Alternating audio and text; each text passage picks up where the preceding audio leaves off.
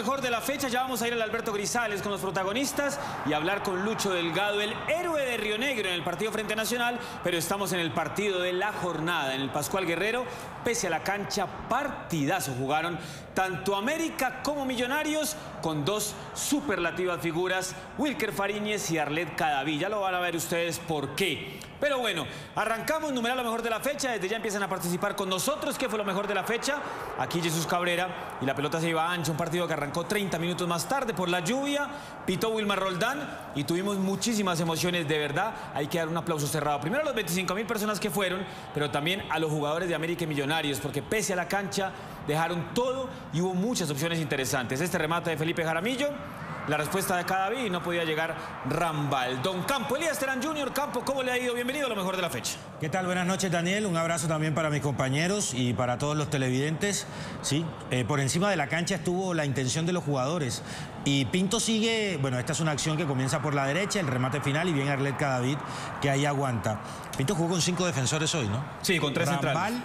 eh, de, los, Santos, Payares. Payares y Román y Vanguero. Eh, algo que habitualmente no venía haciendo Pinto, pero que ante los, creería yo, ante los errores que hemos tenido, mira, ahí se ven los cinco, eh, lo está utilizando. Esta jugada es muy importante. Aristeguieta no puede definir y bien por Rambal. Es la primera vez en el campeonato, en 17 fechas que los pone de titulares, ya en pedazos de partido, como contra Medellín y contra Patriotas. Patriotas. Lo había puesto un rato. Bien por Aristeguieta, había un duelo además de jugadores de selección venezolana entre Aristeguieta y Wilker Fariñez. Seguimos viendo las imágenes del Pascual Guerrero y saludo al profe Juan José Peláez, profe. Ya usted nos va a contar y cómo le pareció Nacional y el resto de la jornada, pero quiero una opinión de inicio de este América Millonarios. ¿Cómo le ha ido? Bienvenido. Daniel, buenas noches, compañeros, buenas noches, televidentes. Eh, un partido abierto, de ida y vuelta, con equipos ya mucho más ajustados. Al final del torneo se ve claramente el trabajo táctico del profesor Pinto en un equipo que ya se hace muy fuerte en el tema, en el tema táctico defensivo y eso da seguridad para salir a, salir a atacar. Y América con el corazón en la mano, un equipo que, que, que- que a pesar de la adversidad siempre tiene eso, se supera a sí mismo. Sí, acá era cabezazo de Fabián González Lazo, decía el asistente que estaba adelantado, me parece que no. Y bien por el arquero Arlet Cadaví, sí no valía, pero el arquero estaba muy atento. Numeral lo mejor de la fecha. Sigan escribiendo, con, participen con nosotros. ¿Qué fue lo mejor de esta jornada 17? Cada vez llegamos al final. Esta es muy parecida a la del gol de Millonarios, casi en contra de Quiñones. Después del pase de McAllister a Santiago Montoya. Saludo al goleador histórico del fútbol colombiano, don Sergio Galván Rey.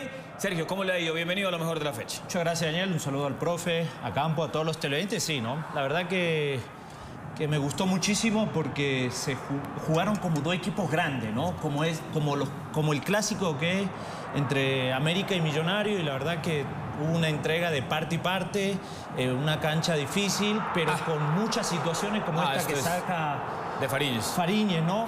Ya el cabezazo de por sí es, es bravo. Y con la cancha como está, Sí.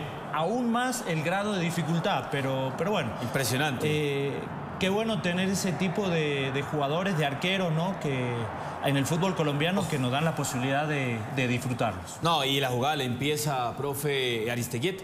Él es el que la Claro, abre. la- Parecía que era largo, pero como la pelota se quedaba por el charco que había en el Pascual Guerrero, alcanza a llegar el hombre de América, mete ese centro. Pero la verdad, eh, todo el mundo ya lo estaba comparando, guardando las proporciones, con México 70, con el cabezazo de Pelé que saca abajo Gordon Banks.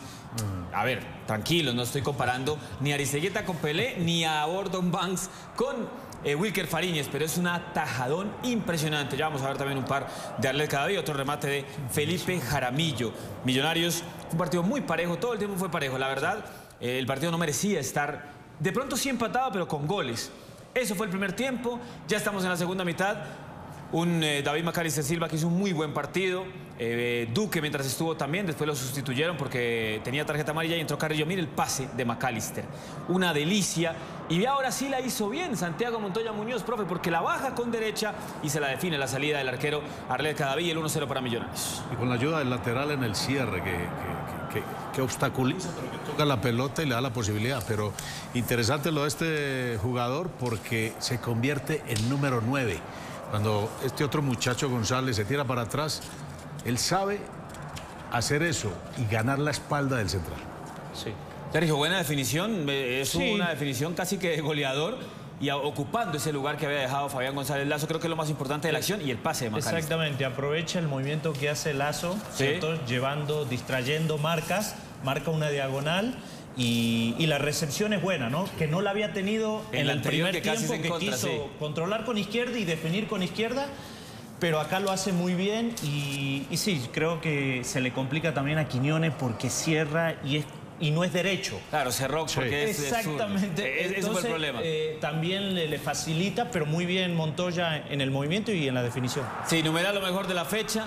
Aquí otra vez, mano a mano, Aristeguieta con Fariñez y ganó el arquero de la selección venezolana y no el delantero.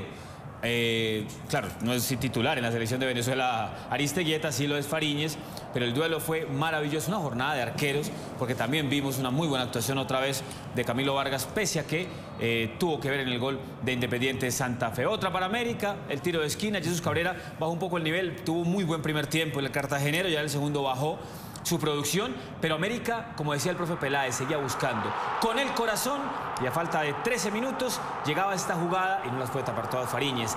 Jason Medina, el ex Zaragoza, que había pasado por Leones, y por intermedio de las piernas marca el empate, que me parece que por lo que se vio era merecido campo, por lo que había sucedido hasta ahora o hasta ese momento en el juego en el Pascual. Sí, una acción que termina con un rebote, ahí está en Banguero, le queda el jugador que define, eh, muy cercano a Fariñez, define además con tranquilidad, la peina en el primer palo y termina haciendo el gol entre las piernas de Fariñez. Pero analizando las opciones de América, un equipo que pone tantos hombres en la última línea, los cinco eh, en la línea final y por delante dos, son siete eh, es increíble cómo le, llegado, le llegó en varias ocasiones solo a Aristeguieta. Hay, hay problemas defensivos en Millonarios. Sí, este es increíble, profe, porque es un rebote que le queda a Marrugo. Yo creo que la vio tan fácil Cristian, que por eso define así. Y mire la reacción felina. Alguien dirá, sí, para donde está el arquero. No, pero es que él dio una vuelta. O sea, el mérito es para Arlet Cadaví y va a tener otra al final también contra Marrugo. Después esta, aquí estaban fuera de lugar Aristeguieta. Si se supone que hay tres centrales, ¿cómo terminan mano a mano los dos centrales de Millonarios? Con dos, con dos atacantes de América. No, Campo, y también. Mire, cómo, están repartidos mal en el área. Estaba habilitado. estaba habilitado. habilitado bajo Romana. Se equivocó el asistente, estaba habilitado. Pero no solo eso. Si son tres, profe, no pensaría que uno lo va a tomar como referencia. Le va a hacer una vigilancia muy cercana a Aristeguieta. Pero Aristeguieta tuvo cuatro opciones de gol claras. Y siempre había alguien cerca, pero no encima, ninguno de los centrales. Mire, y esta para revisar. Muy buena tapada. Esta vista fue la última jugada del compacto, la última del partido. Una acción entre Marrugo y Elícer Quiñones. Recordemos que se fue lesionado Montoya Muñoz. Veremos qué es lo que tiene el mago.